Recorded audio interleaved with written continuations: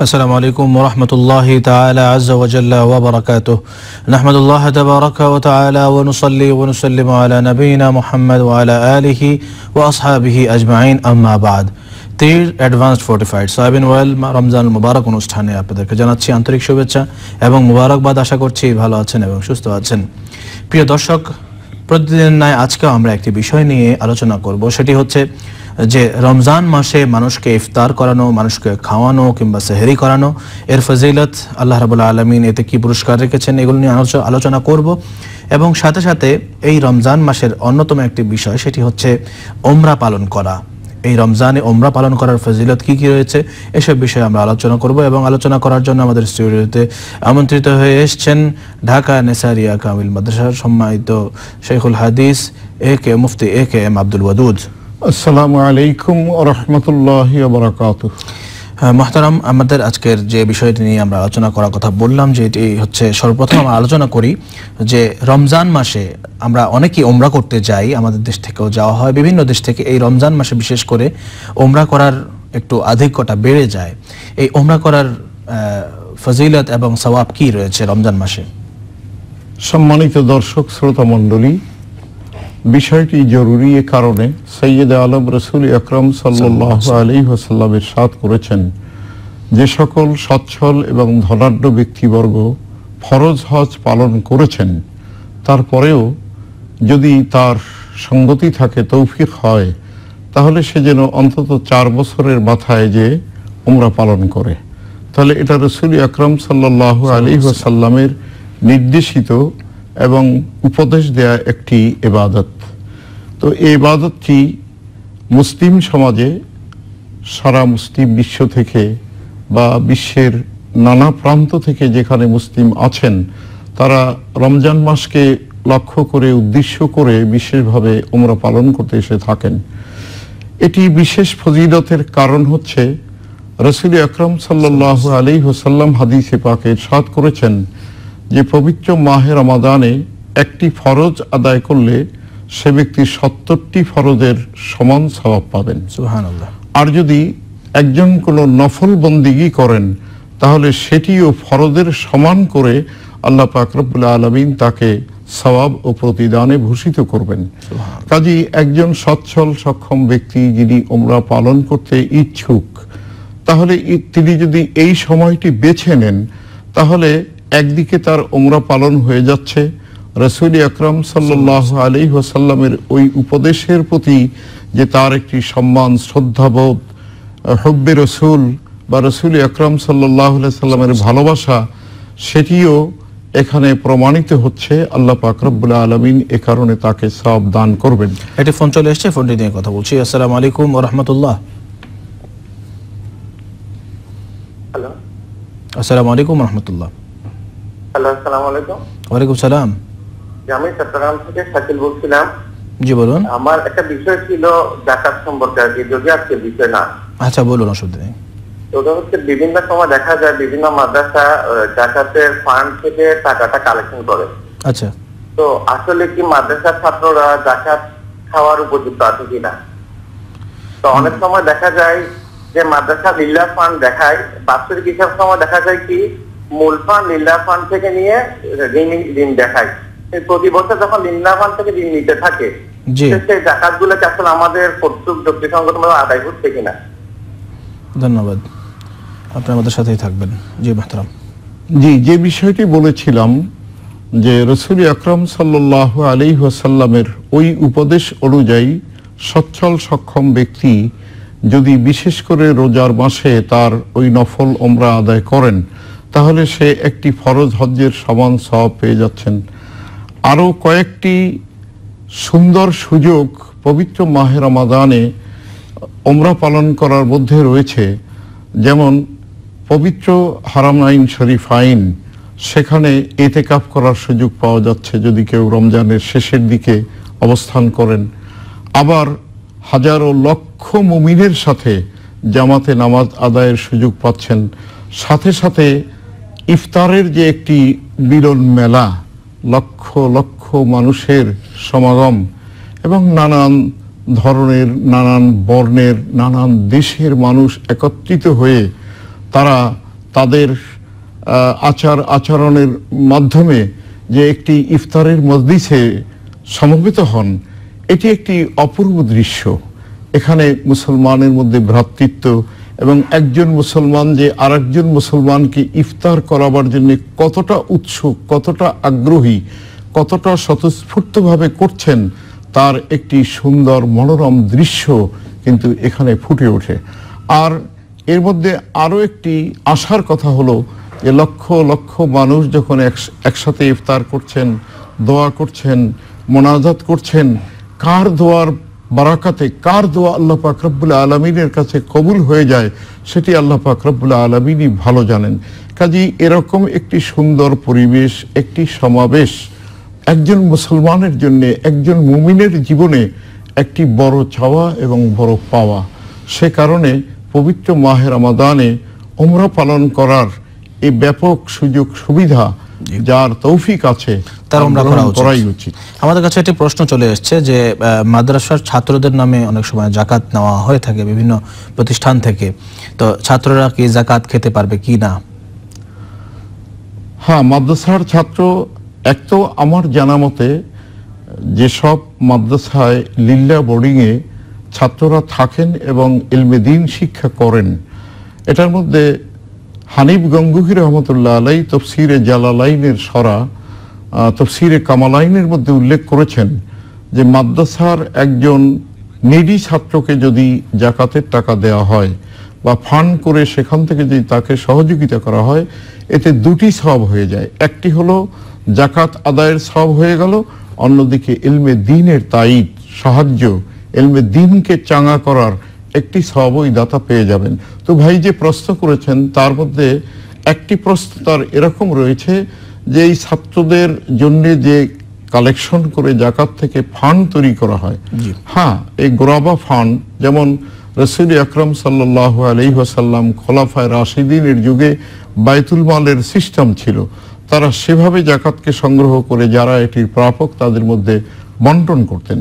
ঠিক এসব প্রতিষ্ঠানেও আসলে এখানে অনেক মহাক্কেক আলেমে দিন থাকেন, যারা কোরআন হাদিস সম্পর্কে যথেষ্ট অভিজ্ঞতা রাখেন। তারা, যারা এই জাকাতের প্রাপক, যারা এটিকে খেতে পারেন, যাদের পিছনে ব্যয় করা যায়, তাদের জন্যেই করে থাকেন। যারা সচ্ছল, সে ছাত্রদের জন্য কিন্তু ভিন্নভাবে চার্জ দিয়ে তাদের খোরাকির ব্যবস্থা করা হয়। আরেকটি প্রশ্ন ভাই করেছেন। একটা ফোন চলে এসে ফোনটি নিয়ে আমি। আসসালামু আলাইকুম রহমতুল্লাহ। আসসালামু আলাইকুম। হুজুর আমি নাসরিন বলতেছি ঢাকা থেকে। জি বলুন। আমার প্রশ্ন হচ্ছে রমজান মাসে যে আমরা তারাবি নামাজ পড়ি তারাবি আমাদের মসজিদে এলাকার মসজিদে আট রাকাত করা আমরা তো সবসময় বিশ রাকাত হিসাবে পড়ে আসছি। এখন কয় রাকাত তারাবি করলে মানে কি হবে? আর আরেকটা প্রশ্ন হচ্ছে নামাজের মধ্যে যে সেজদা দিই আমরা সেজদার মধ্যে মানে আমরা মানে ছেলেদের সেজদা মেয়েদের সেজদার কোনো পার্থক্য আছে কিনা? ওই যে মানে নিজে নাকি একটা মানে ছাগলের খানা দিতে পারে এরকম একটা ফাঁকা রাখা নিয়ম আছে। এখন এটা ছেলে মেয়ে পার্থক্য আছে কিনা? সেজদার মধ্যে ধন্যবাদ। বোন প্রশ্ন করে ফেলেছেন যে রমজানে তারাবির নামাজে আট রাকাত পড়ানো হয়। এটা তো আমরা ভালো করেই জানি যে আট রাকাত কোনো তারাবির নামাজ নেই। তারাবির নামাজ বিশ রাকাত। আল্লাহ রসুলের জামানায় হাজরত ওমরের জামানায় সাবেত হয়ে আসছে এবং এটা এখন পর্যন্ত হারামাইনি শরীফিনে হচ্ছে। আরেকটা হচ্ছে যে সেজদা পুরুষের সেজদা এবং মহিলাদের সেজদা এই দুটো সেজদার ভিতরে ডিফারেন্স আছে কিনা? ইদানিংকালে আহ, কেউ কেউ বলছেন যে ডিফারেন্স নাই। কিন্তু মহাক্কিকিন ওলামা একরাম এবং ফোকাহায় দিন যারা, তারা কিন্তু মহিলা এবং পুরুষদের সাজদার মধ্যে পার্থক্য করেছেন। যেটি কিতাবের মধ্যে বিস্তারিত আলোচনা আছে। আমি আশা করি বোন সেই সমস্ত গ্রন্থ থেকে দেখে নেবেন। অন্যথায় যে সকল মা বোনেরা পুরুষের সেজদার থেকে আলাদা করে তারা তাদের শরীরের অঙ্গ প্রত্যঙ্গকে জড়সড় করে যে তার এক অঙ্গকে আর এক অঙ্গের সাথে লাগিয়ে তারপরে সাজদা করছেন এটি কিন্তু ফোকাহায় গ্রামের সিদ্ধান্ত। কাজেই এটি উত্তম। ওটির আরেকটি কারণ আছে একজন পুরুষ যেভাবে সাজদায় যান একজন ভদ্র মহিলা আমাদের মা বোন যারা তারাও যদি এরকম সাজদা করেন তাহলে সেটা কিন্তু কিছুটা হলেও আহ, দৃষ্টিকটু লাগে। এই কারণেই এই পার্থক্যটা করা হয়েছে। কাজী যারা ইদানিং কালে কথা বলছেন এটি তাদের নিজেদের পক্ষ থেকে তাদের অভিমত মাত্র। আচ্ছা আমার আরেকটা ফোন চলে এসেছে ফোন নিয়ে কথা বলছি। আসসালামু আলাইকুম রহমতুল্লাহ ওয়ালাইকুম সালাম আসসালামু আলাইকুম রহমতুল্লাহ ওয়ালাইকুম সালাম রহমতুল্লাহ হুজুর আমি লুৎফর রহমান বলছি ব্রাহ্মণবাড়ি থেকে। আমার। দুটা প্রশ্ন। প্রথম প্রশ্ন হলো শাহরি খাওয়ার জন্য শেষ রাতের সময় নির্বাচন করার মধ্যে রহস্যটা কি? আর দ্বিতীয় প্রশ্নটা হলো আহ, কোরআন পাকের একটা আয়াতে আছে হে নবী আপনি বলুন আপনার রেসালতের বিনিময়ে আপনার নিকটতার প্রতি অকৃত্রিম ভালোবাসা ছাড়া আর কোনো প্রতিদান চান না। জি। এখানে এই আয়াত পাকে নবীজির নিকট আত্মীয়ের প্রতি ভালোবাসা উম্মতের জন্য ফরজ করা হয়েছে কিনা? এবং এই আহ, নবীর নিকট আত্মীয় কারা কারা? কে কে? এটাই জানতে চাচ্ছি। ধন্যবাদ। ধন্যবাদ। ধন্যবাদ। দর্শক মন্ডলী এই পর্যায়ে সময় হলো একটি বিরতিতে যাওয়ার। আমরা বিরতিতে যাচ্ছি। আমাদের সাথেই থাকবেন ইনশাআল্লাহ কিছুক্ষণের জন্য। আল্লাহু কি যে মধুর না Teer advanced fortified soybean oil Ramzan Mubarak অনুষ্ঠানে আপনাদেরকে আবারও স্বাগত জানাচ্ছি। দর্শক মণ্ডলী ব্রেকে যাওয়ার আগে আমাদের কাছে একটি প্রশ্ন এসেছে, সেটি হচ্ছে যে শেষ রাতে সেহেরির সময় নির্বাচন করা, এটি ইসলামে কীভাবে যুক্তিযুক্ত বা এটি কখন থেকে হয়েছে, এর গুরুত্ব কতটুকু? আর সাথে সাথে আরেকটি প্রশ্ন ভাই করেছিলেন যে আহলে বাইত যারা আল্লাহ রসুল ইসলামের আত্মীয় এবং কাছের মানুষ কোরআন শরীফে যাদেরকে ভালোবাসার কথা বলা হয়েছে, তারা কারা? রসুল আকরাম সাল্লাহ আলী সাল্লামের বংশ বৃদ্ধি এবং পৃথিবীতে প্রতিষ্ঠিত হয়েছে হজরতে ফাতেমাত জাহরা রদি আল্লাহ তালা আনহার দুই সন্তান হজরতে হাসান এবং হুসাইন রদি আল্লাহ তালা আনহুমার মাধ্যমে। তো রসুল আকরম সাল্লাহ আলী সাল্লাম তার থেকে হজরতে ফাতেমাত জাহরা রদি আল্লাহ তালা আনহা এবং তার থেকে হজরতে আলী রদি আল্লাহ তালা আনহু হজরতে ফাতেমাত জাহরা রদি আল্লাহ তালা আনহার স্বামী এবং তার দুই সন্তান হজরতে হাসান এবং হোসাইন রদি আল্লাহ তালা আনহুমা। তাদেরকে আমরা রসুল আকরম সাল্লাহ সাল্লামের সবচেয়ে কাছের এবং আজওয়াজে মুতাহারাত বিশেষ করে হজরতে খাদিজাতুল কোবরা রদি আল্লাহ তালা আনহা হজরতে আয়েশা সিদ্দিকা রদি আল্লাহ তালা আনহা এবং রসুল আকরম সাল্লাহ আলী হোসাল্লামের সকল বিবিদেরকেই বলা হয়েছে কোরআনে কারিমে? উম্মাহাতুল মুমিনিন।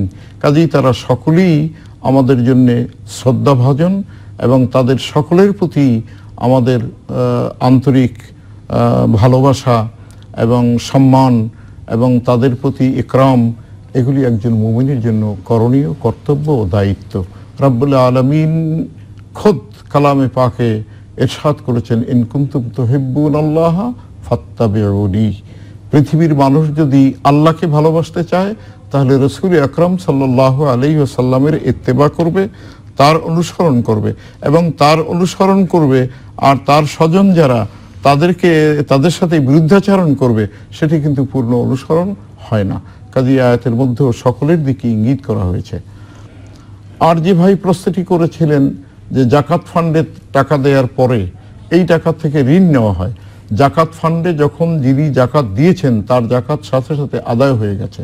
এখন যদি ওই ফান্ড থেকে কেউ অন্যত্র ঋণ দেন, তবে সেই ঋণটা যদি আদায় না করেন এবং যথার্থ ব্যবহার না করেন, সেজন্য তারা দায়ী হবেন।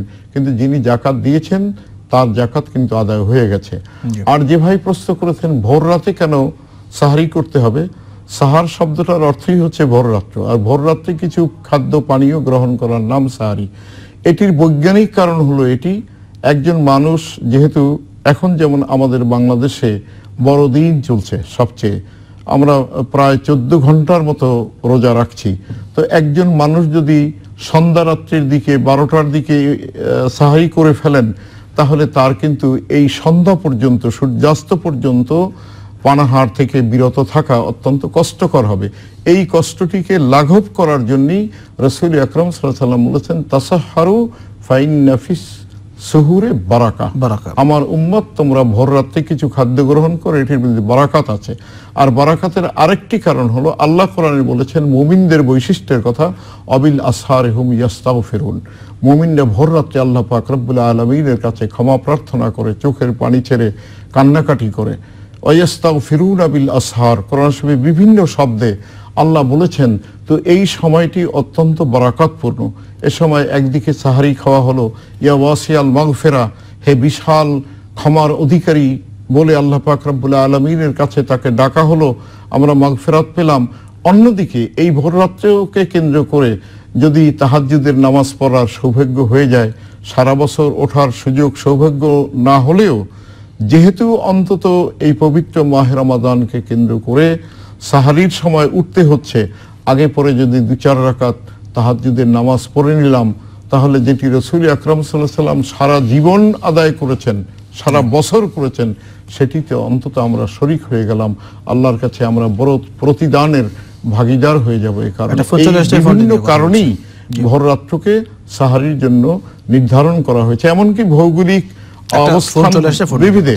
অনেক বড় দিন বারো চোদ্দ ষোলো সতেরো বাইশ ঘণ্টা পর্যন্ত কাউকে রোজা রাখতে হয়। তো যত দেরিতে সাহারি হবে তত রোজাটা তার জন্য আরামদায়ক হবে। আসসালামু আলাইকুম রহমতুল্লাহ। হ্যালো। জি আসসালামু আলাইকুম রহমতুল্লাহ। একটা প্রশ্ন করতে চাচ্ছিলাম। জি বলুন। হ্যালো আসসালামু আলাইকুম। ওয়ালাইকুম সালাম। হ্যাঁ আমি আমার নাম আন্দালি বশির হাসিন জি। আর আমি আমি রামপুরা থেকে বলছি। জি আপনার প্রশ্ন করুন। আচ্ছা হুজুর ইয়ে ইয়ে কি বলে এই যে বারোটা পর্যন্ত রোজা রাখলে মা বাবারা বলে যে বারোটা পর্যন্ত রোজা রাখলে হয়ে যায়। এটা আচ্ছা। কি এটা কতটুকু সঠিক? ধন্যবাদ ধন্যবাদ। আসলে আমরা ছোট বাচ্চা ছেলে মেয়ে যারা রয়েছে আমাদের আমাদের থেকে বয়সে যারা ছোট অনেক ছোট যারা রয়েছে ছোট আহ, বাচ্চা ছেলে যারা রয়েছে তাদেরকে যাতে করে তারা রোজা না রাখে কারণ রোজা রাখলে তাদের সমস্যা হতে পারে, তাদের পড়াশোনা ক্ষতি হতে পারে তাদের শারীরিক স্বাস্থ্যহানি ঘটতে পারে, এই সমস্ত কারণে তাদের বাবা মারা তাদেরকে একটা বুঝ দেন যে বারোটা পর্যন্ত রোজা রাখলে হয়ে যাবে। আসলে কিন্তু বারোটা পর্যন্ত রোজা রাখা নয়, রোজা হচ্ছে সোভা সাদেক থেকে নিয়ে শুরু করে সূর্য অস্ত যাওয়া পর্যন্ত এটুকু হচ্ছে না খেয়ে থাকা, পানাহার ছেড়ে দেওয়া, এটা হচ্ছে রোজা। আর বারোটা পঞ্চ- পর্যন্ত যদি আমরা না খেয়ে থাকি, সেটা রোজা বলা হয় না, সেটাকে অনাহার বলা যেতে পারে। তো রোজা আমাদের ওইটা রোজা বলা যাবে না। ধন্যবাদ। মোহতারাম, আমাদের আরেকটা বিষয় ছিল, সেটি হচ্ছে যে এই রমজান মাসে মানুষকে ইফতার করানো বা সেহেরি করানো, এর ফজিলতটা কি? অত্যন্ত বরাকাতপূর্ণ একটি কাজ, একটি বড় ধরনের পুণ্যের কাজ। রসুল আকরম সাল্লাহ আলী ওসাল্লাম বলেছেন যে আমার উম্মত যেন একজন রোজাদারকে ইফতার করায় এক ঢোক পানির দ্বারা একটু শরবতের দ্বারা একটু খেজুরের দ্বারা। তো সাহাবাই কারাম প্রশ্ন করলেন ইয়া রসুল আল্লাহ এর দ্বারা যদি আমরা ইফতার করাই তাহলে কি আমরা সেই ইফতার করালে একজন রোজাদারের সমান পূর্ণ সওয়াব আল্লাহ দান করবেন সেটাকে আমরা পেয়ে যাব? রসুল আকরম সাল্লাহ সাল্লাম বললেন অবশ্যই পেয়ে যাবে আল্লাহর ভান্ডারে কোনো অভাব নেই। হ্যাঁ যদি কোনো ব্যক্তি পরিতৃপ্ত করে একজন রোজাদারকে আহার করাতে পারে আরও ভালো উন্নত মানের ইফতারি তার জন্যে সে উপস্থাপন করতে পারে সামনে নিয়ে আসতে পারে মেহমানদারি করতে পারে তাহলে সেটি তার জন্য আরও পুণ্যের কারণ হবে জান্নাতের মধ্যে তাকে পরিতৃপ্ত ভাবে আল্লাহ পাক রব্বুল আলামিন সেটির বিনিময় দান করবেন। আসসালামু আলাইকুম রহমতুল্লাহ। আসসালামু আলাইকুম। ওয়ালাইকুম সালাম। হুজুর আমি ফারুক হাসান চট্টগ্রাম থেকে। জি বলুন। হুজুর আমার প্রথম প্রশ্ন হচ্ছে নামাজ নিয়ে। গতকালকে একটা অনুষ্ঠানে দেখলাম বিডির নামাজ হুজুর তিন রাকাত পাঁচ রাকাত সাত রাকাত। এভাবে আমার- নাকি নবী পড়েছিল। উনি বলছে আমরা যে দুই রাকাতে বচক করি ওটা নাকি ওটা নাকি হয় না। ওটা নাকি সহি বুখারি হাদিস।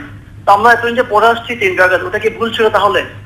আর ওটা কেউ সহি হাদিস দিয়ে আমাদেরকে উত্তর দিবেন। আর দ্বিতীয় প্রশ্ন হচ্ছে নামাজটা ওটা নাকি দুর্বল হাদিস দ্বারা প্রমাণিত। ওটা দিয়ে তারাবিন নামাজের কথা বলছেন। সালাতুত তাসবিহ। আচ্ছা ঠিক আছে।